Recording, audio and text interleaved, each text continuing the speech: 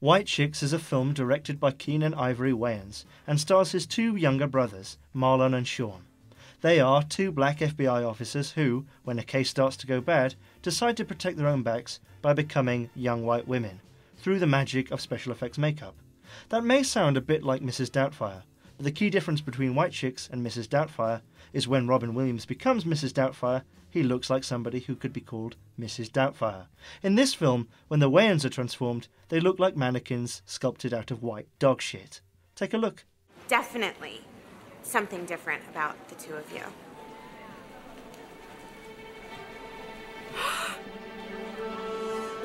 Collagen.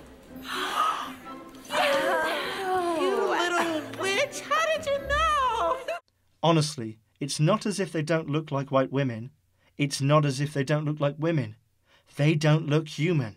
The whole premise of the film is they're meant to be the spitting image of two people under their protection. This is what the two people look like. Put makeup on this? I am so freaking pissed. This is what the Wayan brothers dressed up as those two people look like. Can you see the fatal flaw in this? Okay, so it's quickly established in the film that the Wayans have used special effects makeup before to bust people. Here they are pretending to be Cubans. Of course, even this setup doesn't make sense. The guys who are delivering the drugs don't even know what the recipient is meant to look like anyway. So why dress up? Why dress up and behave like that? So the boys mess up and they bust the wrong people, and for no reason at all, they take off their disguises. Hey, tell Manny ice cream delivery is here.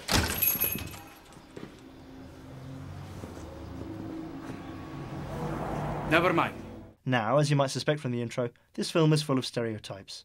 It stereotypes rich white girls, it stereotypes Cubans, it even stereotypes one of the lead's girlfriends. Just had a couple of drinks. I know. I called the bar. They said you left at 7:45. I checked MapQuest, Marcus. It only takes six minutes to get there from here. So if you've got somebody on the side, Marcus, you need to tell me. Baby, listen to what you just said. MapQuest said it takes six minutes to get here. I got here in eight, which means there's two minutes unaccounted for. If I was cheating on you, don't you think I need more than two minutes? I mean, what did they say to that actress? Can you do it as if a white person wrote it? She might as well be a black sassy nurse on a reception desk. Anyway, one of the characters who isn't really a stereotype, but I feel could have done with some stereotyping, is the chief. He just seems too nice. Oh, well, you let those drug dealers go because you acted illegally by not informing us because you wanted to bust them yourselves. You silly boys. I mean, for me, a police chief or an FBI chief is the type of guy who's probably spent years of his life going, Is this your daughter? I'm sorry you had to see that. Is this your daughter? I'm sorry you had to see that. This is a really bad one. Right? I mean, you'd expect him to be kind of hardened. There's nothing intelligent about this. Now, I'm tired of your escapades. I want them to stop. The last thing I need is to be the laughing stock of the Bureau. And furthermore, the. But, quite possibly in the only moment of this film that made me laugh, he is described in quite a wonderful way. What a beautiful chocolate man. I probably would never describe somebody as a beautiful chocolate man, but if I was going to describe somebody as a beautiful chocolate man, it would be him. Anyway, through a nonsense contrivance, Shawn and Marlon Wayans have to pretend to become the Hiltons. Only it's not the Hiltons, it's the Wilsons. I thought it was going to be the Hiltons. It's clearly meant to be the Hiltons, but it's not the Hiltons. This film was made on $37 million. You think they could have got the Hiltons. Maybe they didn't want to be in the film, I don't know. So anyway, the Wayans boys are assigned to protect not the Hiltons from a possible kidnapping. But of course, because they're rich bitches, they're not cooperative. So obviously, they decide, well, what's the easiest thing to do? The easiest thing to do would be if we transform ourselves into. into what? Words escape me. Grotesque replicas. So they're going to make up crew to come around. Now, before I show you this little clip, while it's playing, I want you to think to yourself someone actually sat around a table with other writers and said, So we're agreed. Glasses make people look smart. So all of them will wear glasses. Where are the white women at? Let's do this. I know it's a little thing, but someone has decided to do that. Why? And also, look at the guy who speaks, presumably the head of the crew. Where are the white women at? Let's do this. What is he, a fucking intern? Look at the guy at the back. He's twice as old as him. What, is this his second career or something? Well, he was pretty lucky to find this child prodigy in making people look like white women, or not. You see, even though this movie is ridiculous and isn't meant to be taken seriously, it constantly tries to make us think that the Wayans in makeup are meant to be exactly the same, the spitting image of the Wilsons in real life. And they don't. They look like some blotched corpses of some drag queens. They look like they've been dead for five days. They look like they've been fished out of the fucking Hudson River. Keep an eye out for them. If it's going down, it's gonna go down here. I mean, look at them! Did no one on set say, this is stupid? It's the equivalent of one of them turning up in a Ronald Reagan mask and someone saying, Ronald Reagan, I thought you were dead. They would have been better to turn up in burqas. It's moronic. I'm sorry I'm going on about this. I just cannot believe that they did a makeup test before making this movie and went, spot on. That, that is the shit. You, you, Marlon, you look like a white woman. So, obviously, by its very nature, this movie is playing with race. But is it racist? Well, in my honest opinion, I don't think it is racist. I think it certainly plays to stereotypes, and maybe you could accuse it of being lazy, but it's not malicious at all. In fact, it doesn't seem to go into race in any way apart from superficially. It's quite disappointing in that regard.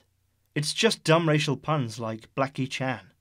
But I do wonder, what would the film have been like if it was two white guys pretending to be two black women? I think it probably would have got a different reaction. In fact, even if it was the Wayans pretending to be two white guys, I think it would have got a different reaction. But I don't know why that is. Maybe it's something to do with races being threatened. I don't know, I'm not white anyway. I'm Aboriginal Yorkshire. I think it's important to say that this film isn't terrible. It's not good, but it's not Norbit. I mean, it's very much like any other film from 2003 which fits into the trashy comedy genre. You kind of expect Adam Sandler to pop in at any moment. In fact, I'd say Adam Sandler's films are more racist than this. If anything, it's way less controversial and gross out than I expected. In fact, I'd say it isn't controversial at all.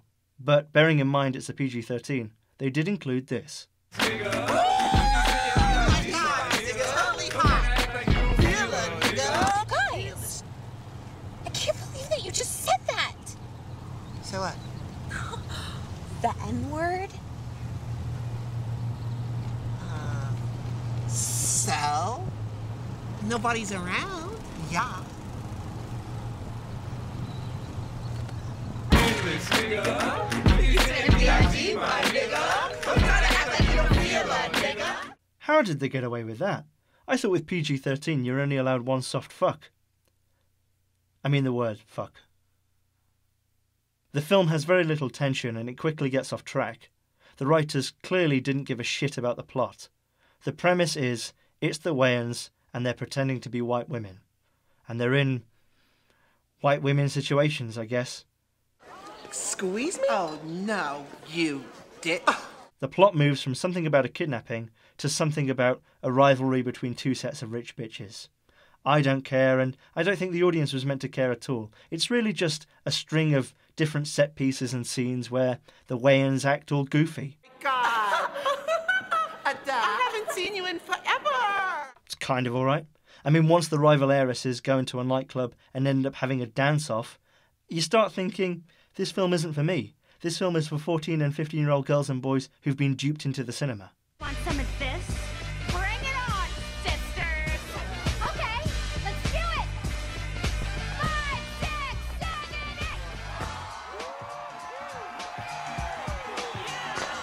It's over 9,000! I think they must have lobbied really hard to get it rated PG 13 because its audience are not adults. So there's this whole rivalry thing, and they end up on the beach all together.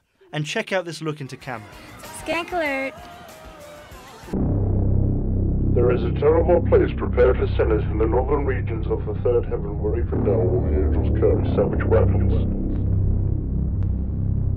There's also a weird sub story about Terry Crews falling in love with one of the Wayans, which is basically a less sophisticated version of Elmer Fudd falling in love with Bugs Bunny when he's in drag. I want to know, are you naughty or nice? Sorry, I'm not interested. I'll take that as naughty. So the film ends at a fashion show, and the real Wilson sisters turn up. So you've got the Wayans dressed as the Wilson sisters and the real sisters, and everyone's like, oh, but they look the same. And there's a line that Terry Crews says, and if you listen to it, you can tell he doesn't believe this shit.